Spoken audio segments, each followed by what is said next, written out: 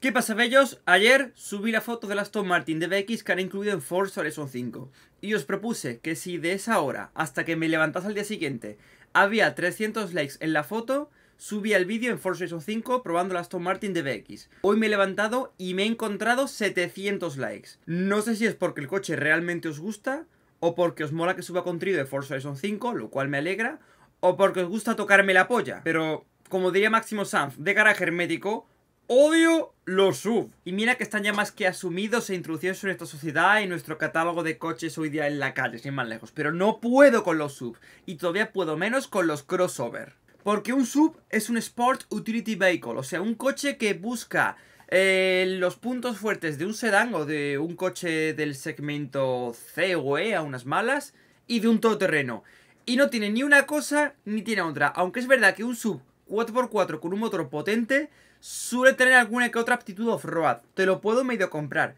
Pero un crossover es un coche alto con ruedas gordas. No tiene otra. No puedo con ellos. Y se están cargando al segmento de los sedán y se han cargado ya al segmento de los wagon o los Avant o los touring o las rancheras. Yo he trabajado en una marca en la que teníamos una gama en la que veía todo tipo de modelo, el compacto, el hatchback, el sedán, la berlina, el wagon, el sub y el todoterreno y la pica. Vale, me parece bien. A una marca en la que en todos los segmentos existe la versión crossover o sub. No sé qué modelo sub, no sé qué modelo cross. Antiguamente el status lo daba un coche mientras más bajito, mejor. Ahora es justo al revés. Mientras más alto, más vistoso, más que te vean, mejor. Comentarios de Karen. Es que me compré la versión sub porque mm, tiene más espacio para el maletero. Es que me compré la versión sub porque así para llevar a la familia pues es más cómodo. Es que me compré la versión sub porque es mucho más segura que un sedán normal. Es que me compré la versión sub porque así voy más segura y veo mejor la carretera. Versión de cuñado. Nah, es que me compré la versión sub porque por 2000 euros más me compré un coche más grande. No, es que me compré la versión sub porque a mí me gusta ahí que la gente me vea. Y el remate. La gente que tiene 70 años y se compra un coche de capricho. ¿Y cuál se compra? Un sub. No, es que yo me compré el sub porque es que las piernas me duelen mucho montarme en un sedán. O sea, tu único problema es que te metes en un sub y te duelen las piernas y luego te viene el coche montado tal que así. Y como sea automático, niño, niño, que esto como se arranca. Niño, esto como para que ande como es. Y luego yo conduzco seguro en la carretera pensando que hay gente así con un sub, con un coche que es el doble de grande que el mío. Sí. No sé para pensar nadie que un crossover, que no es otra cosa que un hatchback levantado, con ruedas más gordas y con más defensas en los bajos, no tiene más espacio de maletero que una berlina o que un vagón, aunque sean más altos. No sé para pensar nadie que un crossover o un sub, que son coches más grandes, más pesados y más altos, tienen peor aerodinámica y peor comportamiento por mucho que los afinen que un sedán y por supuestísimo que un deportivo que esos neumáticos que me llevas tan anchos de 17, 18 hasta 19 pulgadas en la llanta que me llevas. O luego son 400 o 500 euros el cambio de neumáticos la pareja. Si busca neumáticos buenos. Si luego busca neumáticos del pelotazo, pues luego ya entonces otro cantar. Pero se supone que con un sub o un crossover buscas seguridad, ¿no? que, ver y que te vean. Y un coche grande en caso de impacto, ¿no? Empieza por los neumáticos. Y más batallitas y frases típicas de propietario de sub que os podría contar. Pero para no enrollarme más, vamos ya con el Forza Horizon 5 y con Aston Martin DBX, el nuevo sub de Aston Martin. O como cualquier marca de coches de lujo o supercoches ahora apuesta por un sub para no complicarse la vida y asegurar la rentabilidad de la marca. Antes lo hacían con un deportivo económico, un deportivo de entrada. Ahora ni eso, ahora un sub. No te puedes comprar un DB11 y luego si quieres al lado aparcarle un Range Rover el más gordo equipado que haya, no un DBX, que no es ni un deportivo puro, ni es un todoterreno puro. Bueno.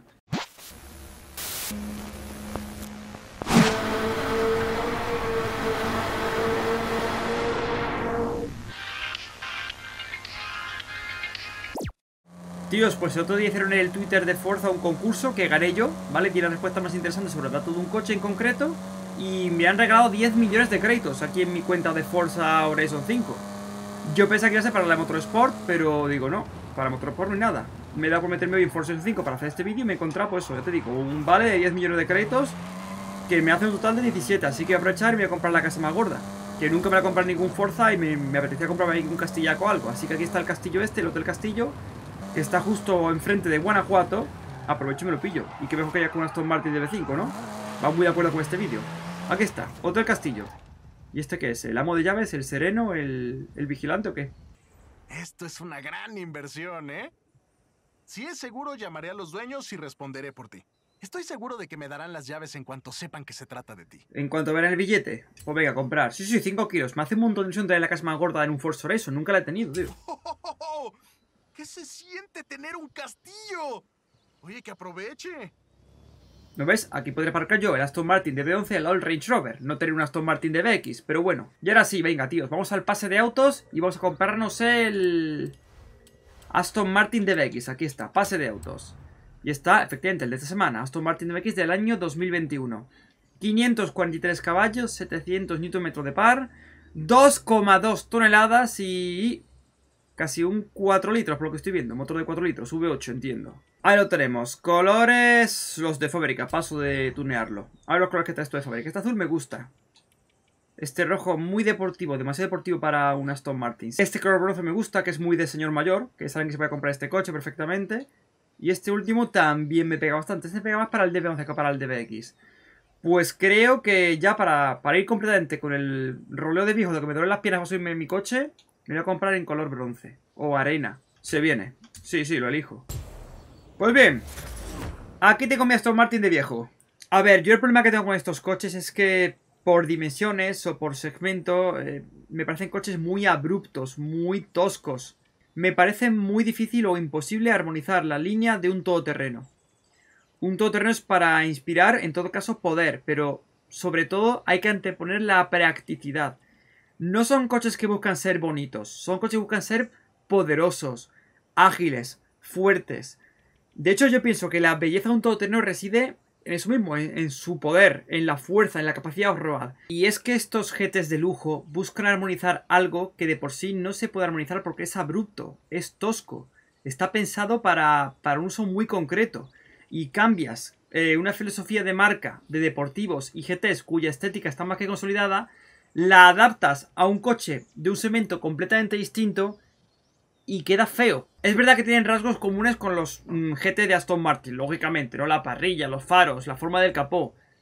Pero si en un Aston Martin, en un deportivo Aston Martin, esa parrilla, esos faros te inspiran refinamiento, sofisticación y potencia, yo aquí lo que veo es un parrillón enorme y encima con papada, con el difusor que tiene debajo. Bueno, ya está. Vamos a dejar ya de soltar hate. Vamos a abrirlo. A ver qué tenemos aquí. Aquí tenemos el motor de Cuidado, 4 litros Twin Turbo V8. No se puede ver tampoco nada más porque lo estaba todo en la carcasa de plástico. Ahí está también el tapón para hacer el nivel. Poquita cosa más, típico de los coches de esta época. Vamos a ver la trasera, el maletero, que es un punto importantísimo de los subs hoy día. El maletero, ¡uh! ¡Qué grande es el maletero! ¡Uf! Una cosa enorme, ¡uh! ¡Qué maravilla! Te compras un Aston Martin pensando en el maletero. Mm, sí, se abre el completo, cosa que se agradece. Tenemos en la parte de atrás, por cierto, me ha parecido verlo a mí, mini guanteras haciendo estilo semi-backer, por lo que estoy viendo en la parte de detrás, por la parte de detrás. Detalles cromados y de madera, me gusta, me gustan. Y en la parte delantera, pues tenemos más de lo mismo, ¿no? Hombre, realmente en el interior el coche no va a estar mal. ¿Cerramos? Uf, ha sonado como, como a chapa mala al cerrarse, ¿no? Me lo parecía a mí. Me gustan mucho los detalles de madera, me gustan, junto con los cromados, hay bastante armonía, me mola. Lo que me da un súbito y repentino asco tremendo son los botones para las posiciones del cambio en la parte central del salpicadero. Parking, reversa, neutra y, drive, que es hacia adelante. Luego tenemos cambio de levas en el volante, lógicamente, pero a mí los botones ahí en el medio me dan bastante asquito, ¿eh? No me gusta. Y a nivel de estética además sí está curioso. Detalle chulo, mm, tener el parasol en la cara, en la frente prácticamente. Y por supuesto la sensación de poder que te da en un coche tan alto, oh sí.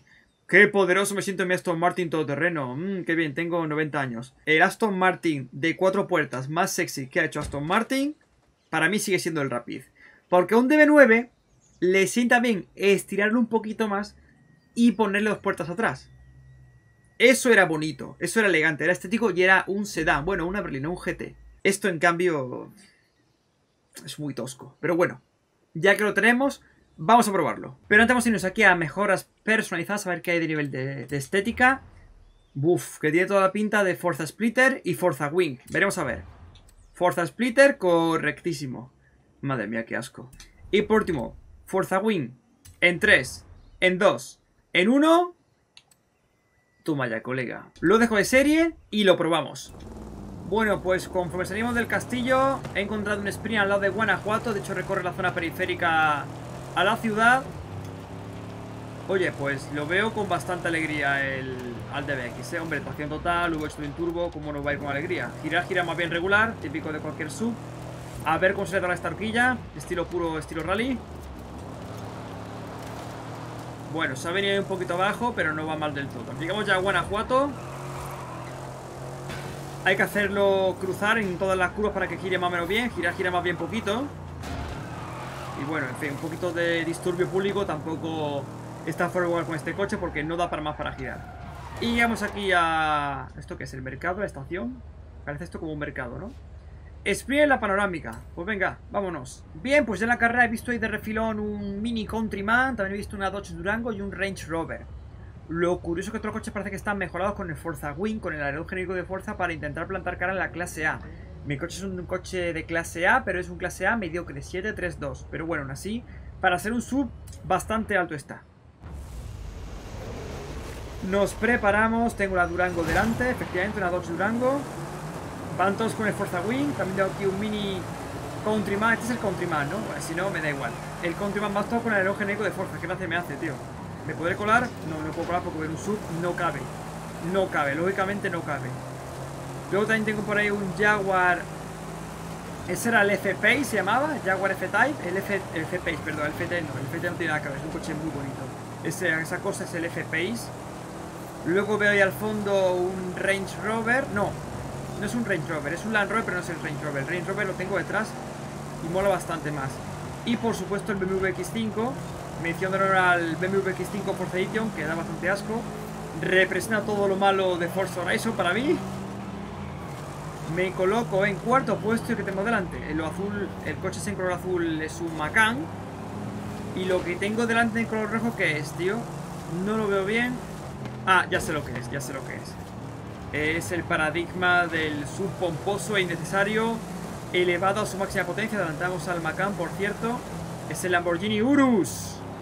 Oh, ya, no puede faltar aquí. No voy a faltar aquí. Joder, que poco gira este trasto, tío. Madre mía. Y encima me cierran el paso. Si lo he metido en una carrera por la ciudad, por la calle de la ciudad, adrede, para ver que efectivamente es un tordo para tomar las curvas. Y efectivamente así es. Corre mucho, agarra, tiene mucha fuerza, mucho empaque, pero su capacidad giratoria es limitada o nula. Si no quieres girar muy fino, quieres ir todo el rato medio gas. Estamos alcanzando al Lamborghini Urus, tío. El Lamborghini Urus que es el sub más potente del planeta ahora mismo. Pero claro, si el Lamborghini haciendo un sub... O sea, Lamborghini haciendo un sub, es que y encima es feo. Porque claro, como tiene que ser afilado y agresivo, pero en un concepto, en, en un segmento de todoterreno, lo que comenté antes al principio del vídeo. ¿Cómo puedes hacer que un Lamborghini, una estética de avión de Lamborghini, cómo puedes implementar esa estética en un todoterreno? Pues sale algo raro, sale algo extraño, deforme, sale el Urus. Lo cruzo porque no me queda otra, por cierto, para tomar las curvas bien. Pero bueno, a nivel de rendimiento, un equiletos al trasto ese. Va muy fuerte. A mí me queda poco circuito ya, voy al 80% de la carrera, no sé si puede llegar a alcanzar. De todas formas, por lo que se ve, lo más gordo que hay después del Urus se ve que es el DBX, porque nadie me tose. Voy completamente de serie, por cierto. A ver, a ver, aquí lando un poquito fino, que va, esto no gira nada. Y es verdad que, otra cosa no, pero el Urus es más cortito. Tiene una batalla más corta y parece más ágil. Un 2% más ágil. ¡Vamos, vamos, vamos, vamos! ¡Vamos, vamos! Quita en medio. ¡No, no, no, no! Como esta mardá, ¿eh? Pero bueno, son subs, se le permite todo. O al final hemos ganado la carrera, ¿eh? Le hemos ganado hasta un Urus, ¿eh? Cuidadito, cuidadito. Mucha fuerza, mucho empaque, nada de giro. Nada. Nada, pero hemos ganado. Hasta en Forza Horizon 5 se cumple. Y es que no hay forma de disimular el peso. No me des potencia. Quítame peso. Concepto contrario los subs. Ahora nos dirigimos al siguiente evento, que va a ser una carrera cross country. No va a ser un evento de tierra sobre, no. Voy a darles caña porque ¿para qué voy a tener miramientos con un DBX? ¿Por qué? Sí, ¿por qué? Por cierto, suena muy guapo por dentro, ¿eh? Suena muy gordo. Me lo he pasado, por cierto. Bueno, no pasa nada. Doy marcha atrás. No, no, pero dale al botón, dale al botón de la R. Dale al botón, niño, dale al botón.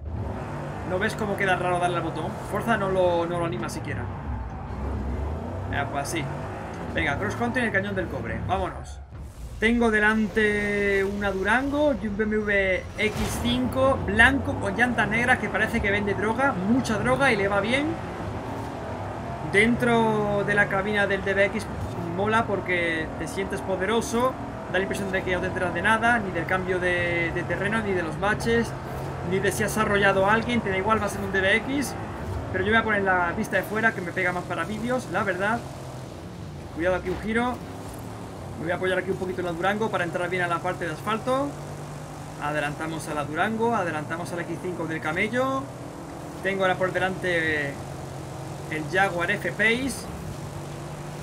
Otro, Jaguar Sus. Pues bueno, Jaguar es como BMW, es una marca un poco más generalista comparada con Aston Martin. Con Aston Martin, pues un sub pues tampoco te chirre demasiado.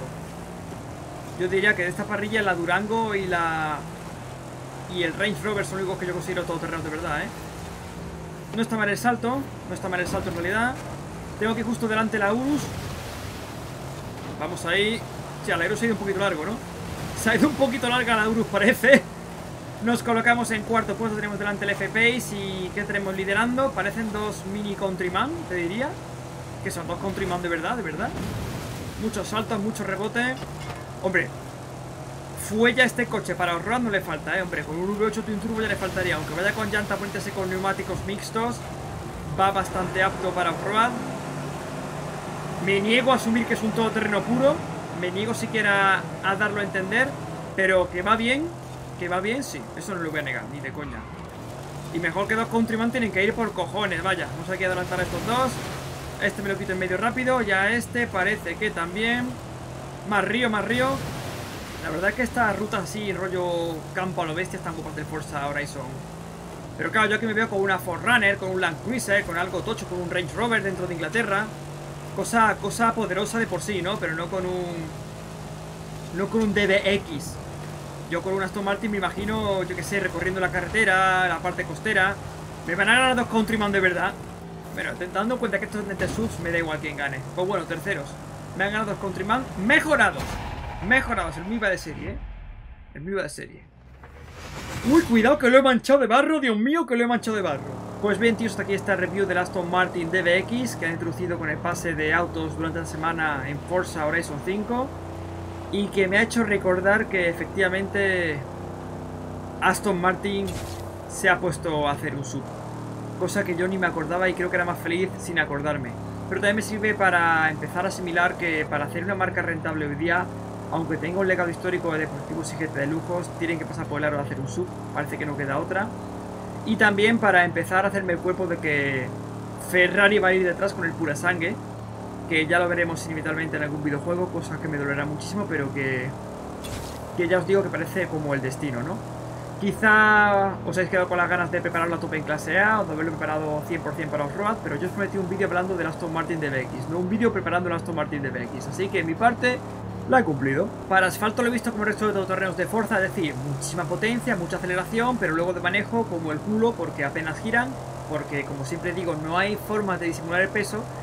Pero en cambio en el caso del DBX he visto que en off-road iba bastante suelto, la verdad. Lo he visto bastante apañado en off-road. La verdad es que no le cuesta meterse por caminos accidentados, por precipicios. No, no, es un coche que parece que, que va suelto para hacer off-road.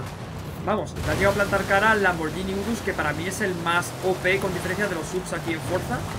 Y, sin mejorar, que era la clave, porque los rivales sí han mejorado. O sea, este parece que, le ha dado igual y ya ha ido bien, la verdad. Así que es un punto a favor del DBX, que va bastante suelto sin necesidad de mejorarlo.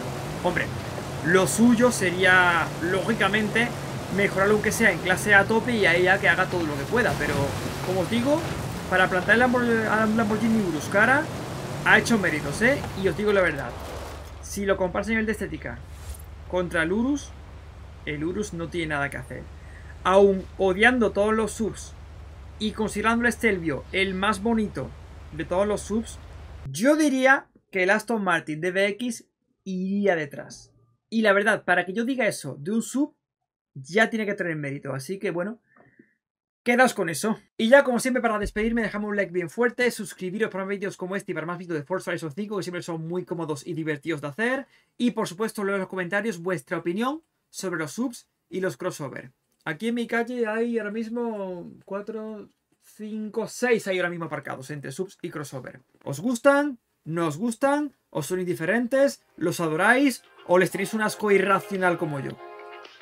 Os leo en los comentarios. Nos vemos en el siguiente vídeo o en el siguiente directo en Twitch. Un saludo.